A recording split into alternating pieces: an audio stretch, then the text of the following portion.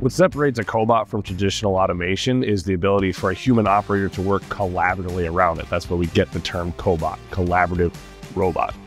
The ease of programming is a huge reason why the cobots have been able to grow in popularity. We actually had a customer that had a part with about 20 different welds, different processes, and they were able to program that in about 30 minutes. Whereas in traditional automation, we'd see that be a three to four hour process. They can weld simple to complex. A lot of it boils down to the tooling that the fabricator places in front of the cobot because the welders feel like they are actually still welding. They're moving the torch. They're making the welds. Cobots are allowing welders to reduce the stress and strain that they have on their body, but and still produce even more parts. Anytime that you're adding capacity to your welding operations, it's an opportunity for expansion.